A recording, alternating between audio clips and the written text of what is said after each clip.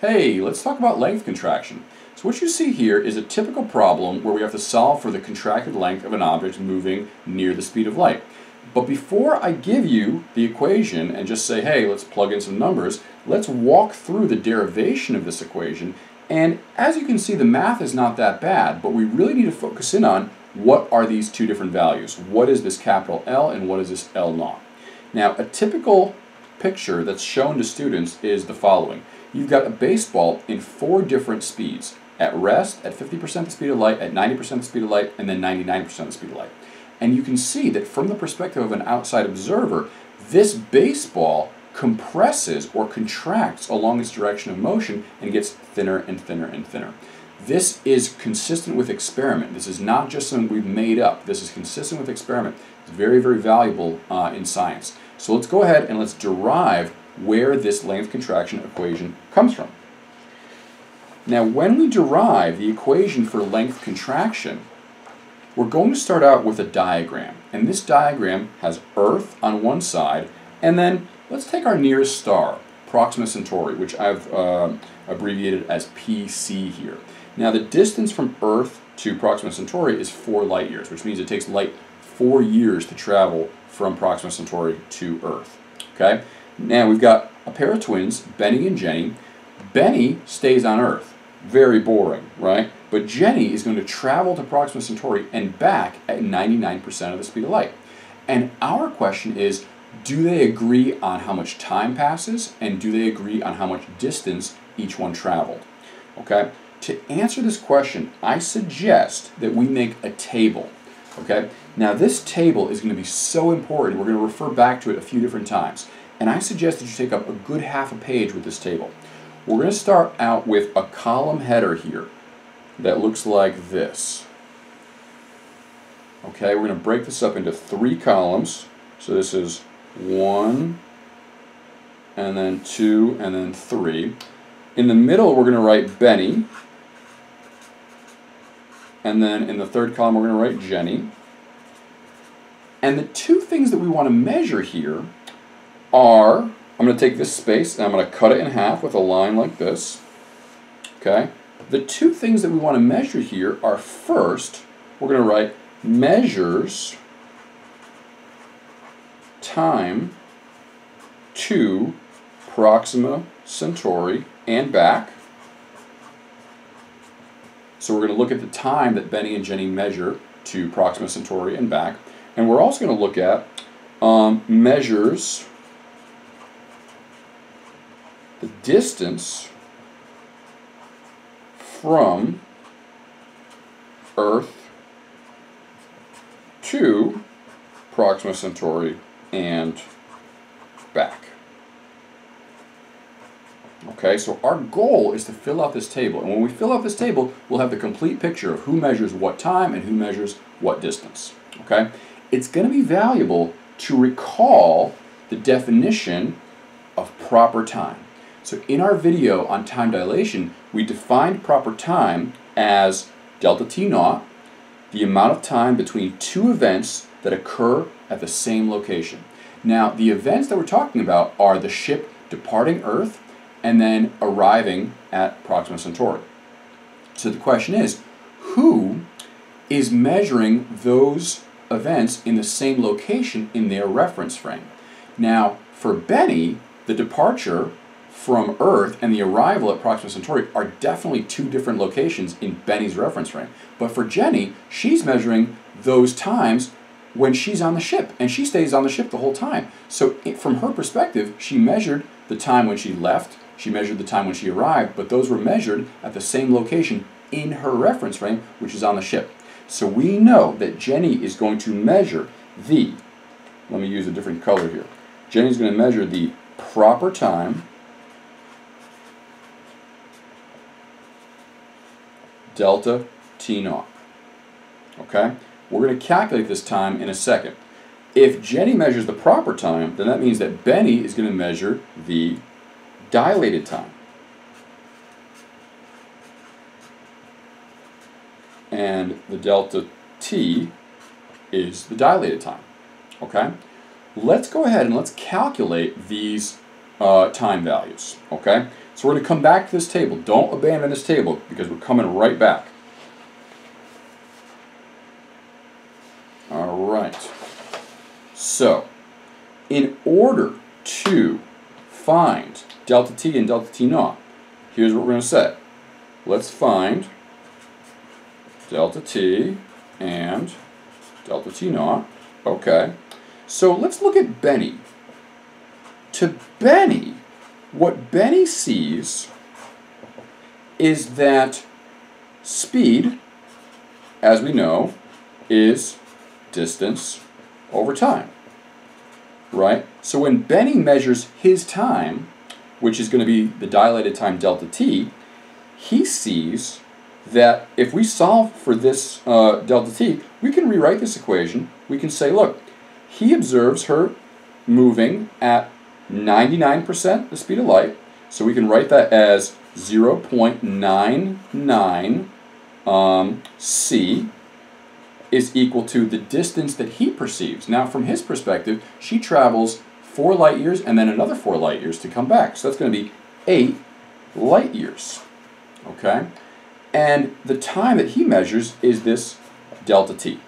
So if we solve for this delta t now, we're going to get delta t is equal to the 8 light years divided by 0.99.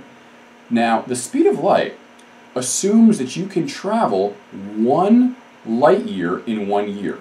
So if you're traveling at 99% the speed of light, that means you can travel 0.99 light years in the same year. Okay?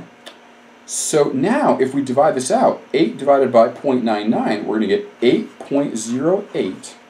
And the unit here, if you take light years and divide it by light years per year, the light years will cancel, and you're going to get in the numerator years. So he's going to measure a dilated time of 8.08 years. Okay? Let's look at Jenny now.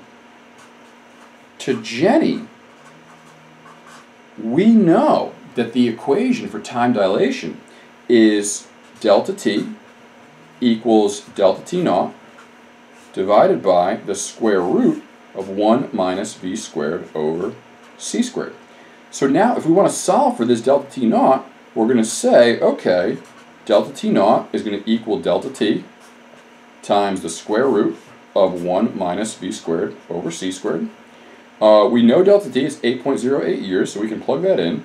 So this is going to be equal to 8.08 times the square root of 1 minus v squared, which is 0.99c.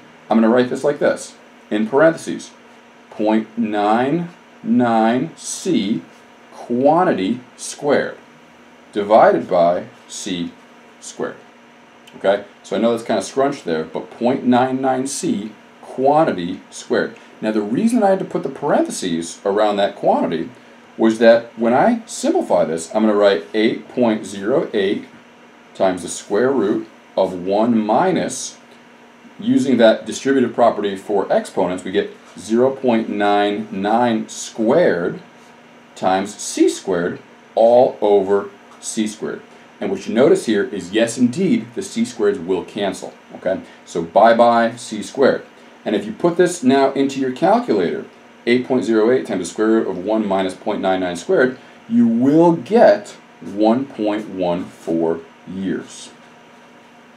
So whereas Benny measured the dilated time of 8.08 years, Jenny only measured 1.14 years. So Jenny will have aged one year during the trip, whereas Benny will have aged eight years. Okay? Very, very interesting. So let's go ahead and return to that all-important table that I shared with you. So in our table, let's go ahead and put the times. So Benny measured a dilated time of delta t is equal to 8.08 years, and Jenny measured a delta t naught, a proper time, of 1.14 years. Okay, so now we have the times that are measured by Benny and Jenny. So the question is, if they don't agree on the times, will they agree on the distances traveled? Let's find out. to answer that question, what we would like to do here is we would like to first define a new quantity. Okay? The new quantity is called the proper length L naught. Okay? The proper length L naught is the distance between two points as measured by someone who is at rest with respect to both points. Okay? So if the two points are Earth and Proxima Centauri, who remains at rest with respect to both points? Is it Jenny? Well, she measured the proper time, so maybe she measures the proper distance as well, or the proper length as well. But is Jenny at rest with respect to Earth and Proxima Centauri? Unfortunately, no. She's in motion with respect to both those points. So then, how about Benny? Benny's on Earth. He remains on Earth. So that means he's at rest with respect to Earth, and he's also not moving with respect to Proxima Centauri. So Benny, in fact, does measure the proper length. The proper length. L naught. Okay? So the question is, how much proper length does he measure? Well, he says, look, Jenny, you went four light years, and then you came back four light years. So that's a total distance of eight light years. So this L naught is going to be equal to eight light years. That's pretty straightforward. Okay, well what about for Jenny? What does Jenny measure? To answer that question, we've got to ask another question. And the question is this. From Benny's perspective, how is Jenny moving?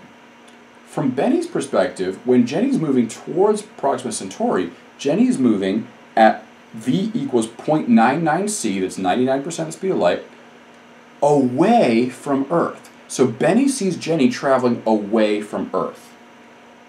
Okay? What does Jenny see? Jenny's on her spaceship.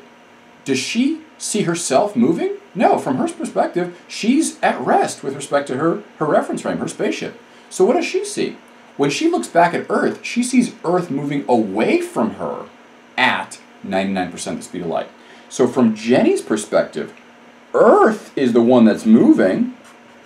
Earth is moving at 0.99c away from her. Okay? Who's right? Benny says, Jenny, you're moving at 99% of the speed of light away from me. And Jenny says, no, no, no, no, no, I'm at rest. Earth is moving at 99% of the speed of light away from me. So who's right? Guess what? They both are. They both agree on the speed. Okay? They both agree on the speed that each other is moving. So what does that mean? What that means is that we can look at this speed and we can say if they both measure the same speed, then maybe we can set those two speeds equal to each other. So check this out. First, though, we have to define a new quantity. Let capital L equal the distance from Earth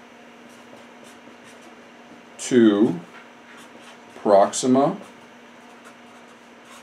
Centauri um, as measured by Jenny.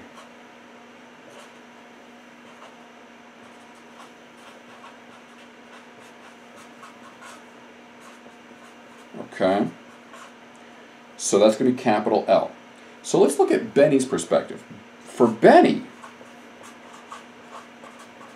Benny says, look, you're moving at speed v.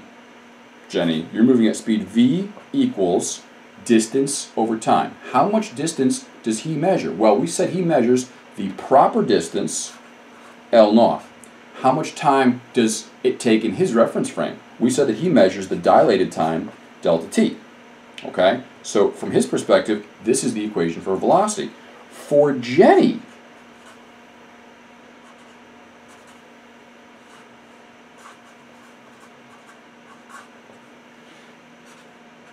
she measures a distance L. We've defined this to be the distance that she measures.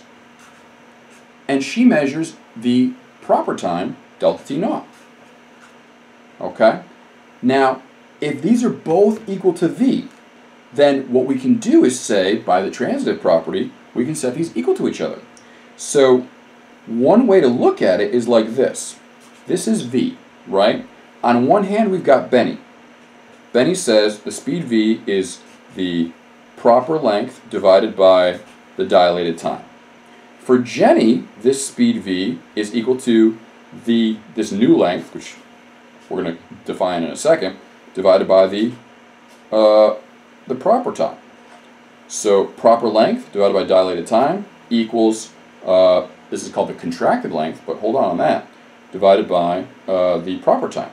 Okay? Now, because this delta t is a dilated time, this is a larger delta t. Okay? And in order for this speed to be the same, a larger time has to be associated with a larger distance. Whereas for Jenny, she measures the proper time, which is the smaller delta t. And in order for this equation to be balanced, if you have a larger L divided by a larger delta t, and on the other side you've got a smaller delta t in the denominator, that means that to keep this balanced, we need to have a smaller length in the numerator. And guess what? This L, because it's a smaller length, is called the contracted length. So let's define. L is equal to the contracted length.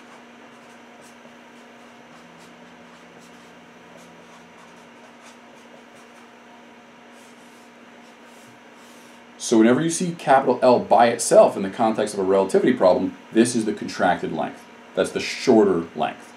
Okay? So now we're in excellent shape, but we haven't yet derived the equation. So let's take this equation right here, L naught over delta T equals L over delta T naught, and let's solve this equation for L. Okay? So let's go ahead and let's write, okay, the equation that we have is L naught over delta T equals L over delta T naught, right? Okay, let's solve this for L. So maybe what we're going to do is multiply uh, both sides by delta T naught.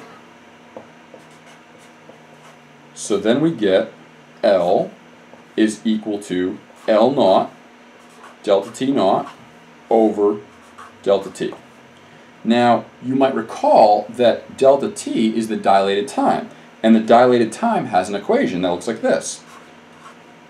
We're going to replace this dilated time, delta t, with the equation for dilated time, which is delta t naught divided by the square root of 1 minus v squared over c squared. Okay? So, what we've done is we've replaced this delta t with the equation for the dilated time, right here. So we all know that if you take an expression, this numerator, and divide it by a fraction down here, this is all one big fraction. If you divide by a fraction, it's the same thing as multiplying by the reciprocal. So we can rewrite this as L naught delta T naught times the reciprocal, which is square root 1 minus v squared over c squared over delta T naught. Now what's going to happen to these delta T naughts? They're going to cancel each other out. So these delta T naughts cancel out, and we're left with the big equation that we've been searching for all this time. L equals L naught square root 1 minus v squared over c squared. Okay, let me write that nice and big. This is the contracted length equation.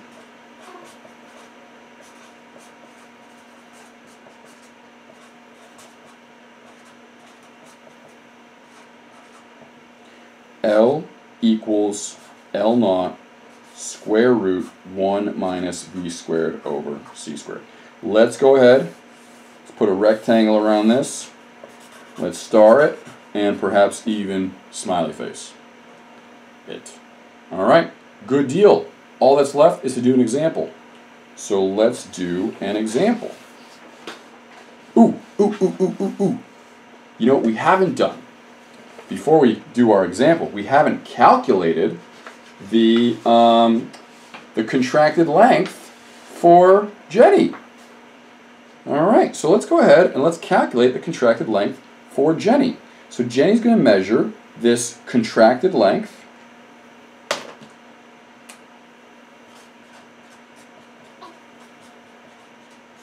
Contracted length. Oops. L. That's what Jenny measures. And so if we calculate this, we can do it uh, right here in this space. It shouldn't be too much work. We're going to say, okay, this L that she measures is going to be equal to the proper length, which was 8, times the square root of 1 minus 0.99c squared. Okay, now I already know that that's going to simplify to 0.99 squared c squared over c squared. Okay, the c squareds will cancel, and if you take 8 times the square root of 1 minus 0.99 squared, you will get 1.13 light years. So whereas Benny said, Jenny, you, measure, you, you traveled 8 light years, Jenny says, no, I only traveled 1.13 light years, which makes sense because Benny measured a whole lot of time, and for him, it took her a whole lot of uh, distance when she traveled that large amount of time. But for Jenny, she only measured a short amount of time. So that means that she measured a short distance that she was traveling. Okay? Wow. Excellent. So all that's left is to do a nice example. All right, here is our example. An alien spaceship travels at 90% the speed of light. An Earth observer measures that the spaceship travels 1,600 meters into Earth's atmosphere. So what distance did the spaceship travel from the alien's perspective? All right, well, we know the equation is going to be L equals L naught square root 1 minus v squared over c squared. And we know that we have a distance of 1600 meters here. The question is, which distance is this? Okay, the Earth observer is at rest with respect to where the alien spaceship starts and where the alien spaceship ends. So because the Earth observer is at rest, the Earth observer is going to measure this as the proper length. Okay? So this L naught here, because the Earth observer is at rest with respect to those two points, this is measured by the Earth observer. This is 1600 meters. Okay? So we're going to say, okay, this is 1600 times the square root of 1 minus, and then for v squared, we got 90% the speed of light, so it's going to be 0.9 c quantity squared over c squared. All right. Well, we know that this can be written as 1 minus, and if we already know, we can, we can skip a little bit of work here. We're going to have a c squared here, and we have a c squared there. Those c squareds are going to cancel. So we're going to have a 0.9 squared with no more c squares. So if we now put this into our calculator, we're going to get a distance of 697 meters. So from the perspective of the alien, the distance traveled was 697 meters. All right, and that represents a typical example um, from length contraction. So I hope this was helpful to you, and thanks for watching.